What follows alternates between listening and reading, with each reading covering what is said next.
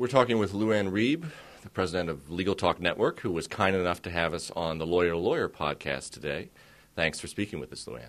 Oh, you guys are great. I hope you had a good time being a guest.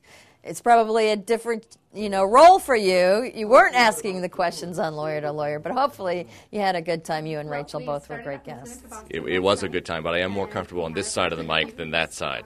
Uh, let me ask you, just tell us a bit about Legal Talk Network. What is uh, the, the organization, and, and how long have you been in business? The founders, including myself, came from CBS Boston. So we were in the broadcast world for a long time, and then we started our own business. I won't tell you too much about that. In 2004, we launched Legal Talk Network as part of our mothership company here. And the idea was instead of broadcasting, it would be narrowcasting. Legal Talk Network obviously is targeting the legal community lawyers, paralegals, all sorts of legal services companies. And we came up with this idea because we saw new media starting to bud, starting to be adopted pretty readily. And uh, lawyers like to talk.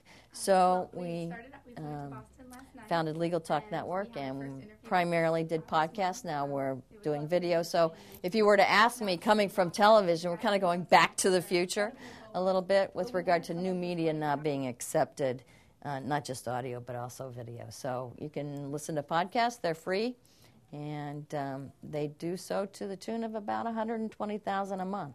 Really? Yeah, yeah, so that's, we're pleased with that. That's for all of them combined? That's right. And which one is your most listened to podcast? Lawyer to Lawyer. The, you got the top show. You were on the top wow. show. Lawyer to Lawyer, it's been around the longest, and it's a weekly. Much like the print business, if you publish weekly, you tend to have more readers, listeners, watchers.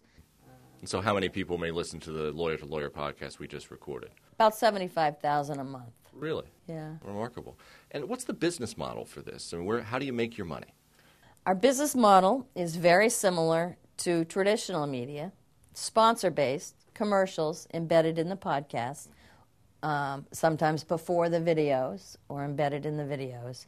Much like uh, sponsors on television, radio, print, those sponsors want to reach our audience. And they found that one of the ways to do that now, in addition to traditional media, is new media. So why not buy a commercial and a podcast? It's really pretty simple. So, what kind of advertisers do you have? Uh, we have all sorts of legal software advertisers. We have uh, firms that advertise. Anybody who wants to reach that legal community. And a lot of people are trying to reach paralegals these days because they tend to be the gatekeepers often for the firms in terms of services and products that they need for the law firms. And you said that you're beginning to experiment with doing video podcasts as well. We just did one which was an audio podcast. How do you decide which to do, video or audio? Mostly audio still. Um, we are doing video with lawyers primarily who want to market themselves. I think your program, the project that you're on, uh, you're, you're, you're doing right now definitely weighs in on the fact that lawyers realize it's a different world out there.